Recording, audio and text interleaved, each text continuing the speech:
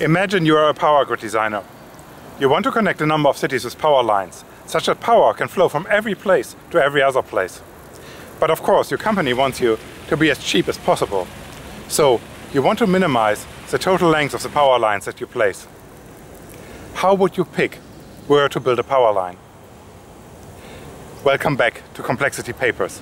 And today we will see the solution to this problem. This is actually the second part of the lecture. If you haven't seen the first part yet, check it out. Link is in the description. Jindřich Saxl was one of the world's first power grid engineers.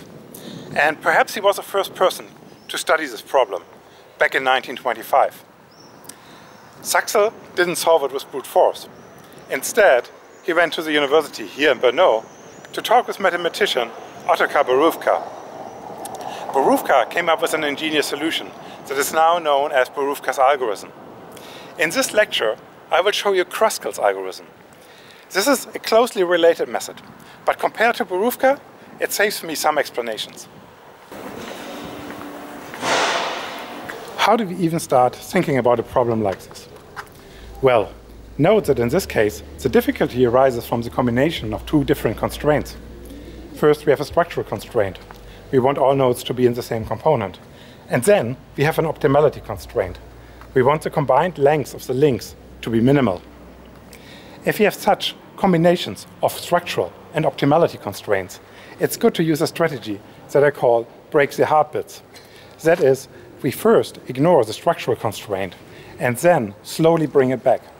To see how this looks in action, let's consider again the example of the five Moravian cities that we introduced in part one. What you're looking at here is an empty graph it has five nodes and no links. This hardly looks like an optimal power grid, but in a sense it is. This is actually the optimal network with five components.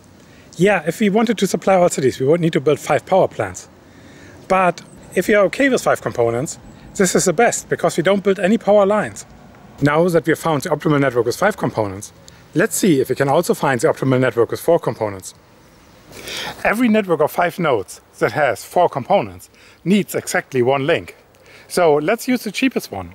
That is the 51 kilometer one link from Zlín to Olomouc. To find the optimal network with three components, we need to place another link. The second cheapest link that we can place in the network is a 63 kilometer long connection between Olomouc and Brno. Are we really sure that this is the optimal network?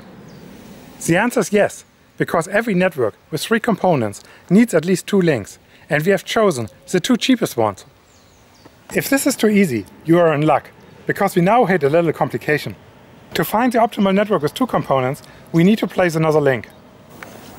The next shortest one is a 74 kilometer long connection from Brno to Zlín. But if we place this link, it doesn't reduce the number of components. So there's actually no point in building this link. The next shortest one is a 75 kilometer long link from Olomouc to Ostrava. Building this one reduces the number of components to two. But have we really found the optimal network with two components? This is a subtle point, so I need your full attention now. I now want to argue that the link from Brno to Zlín cannot be part of any optimal network with any number of components.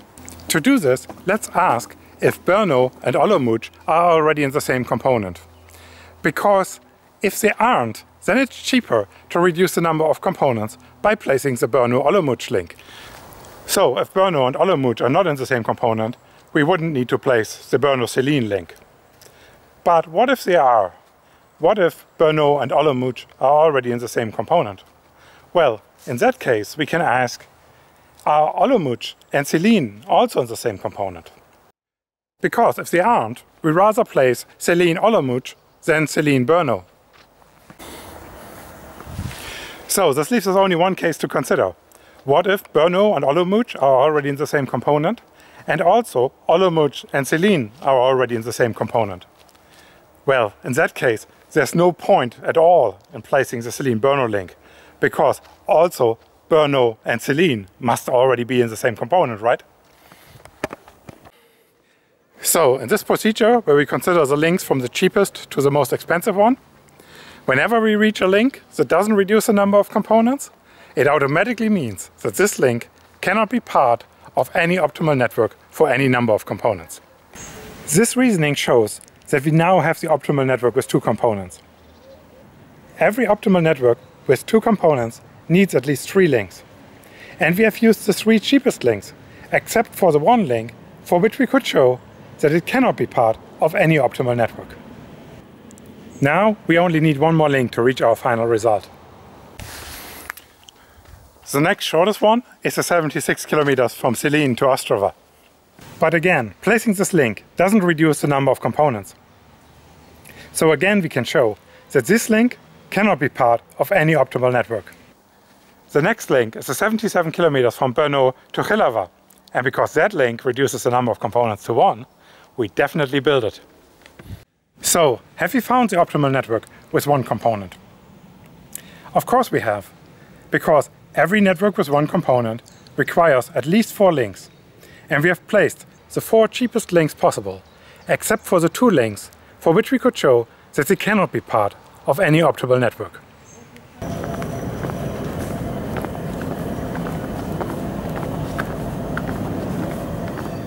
We can summarize Kruskal's algorithm as follows.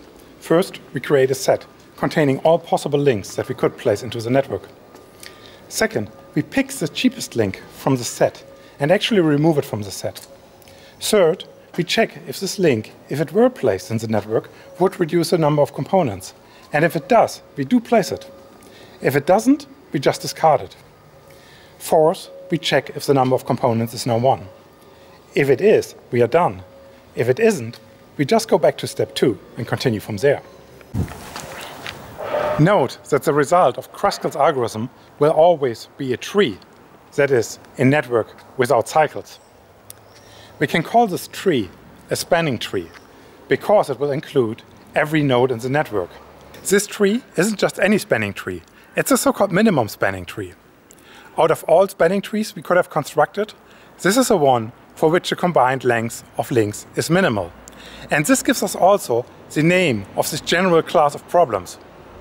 They are called minimum spanning tree or MST problems.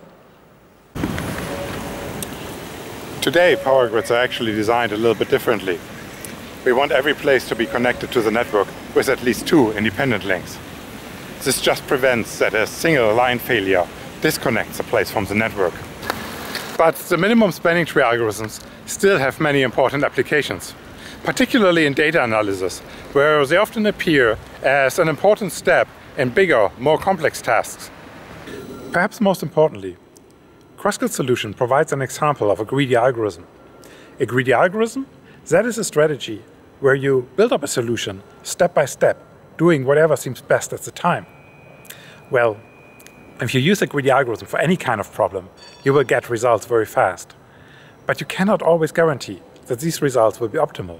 Now, in our MST example, we were never really tempted to place a wrong link. Or maybe we were tempted, but when we were tempted to place a link that didn't reduce the number of components, then we realized that it wouldn't get us closer to the result. And so we didn't place it. And this is maybe a nice point to end with. Whether an optimal greedy solution is possible for a problem may depend on how well you understand the problem. Hey, if you enjoyed this video and want to know more, I'm actually just about to finish a book that will be published with Springer. And the link might be already in the description by the time you watch this. So now you could just go on and watch any other video. Or you might join me for some exercises and never forget what you just learned. If I put it this way, choice is obvious, isn't it?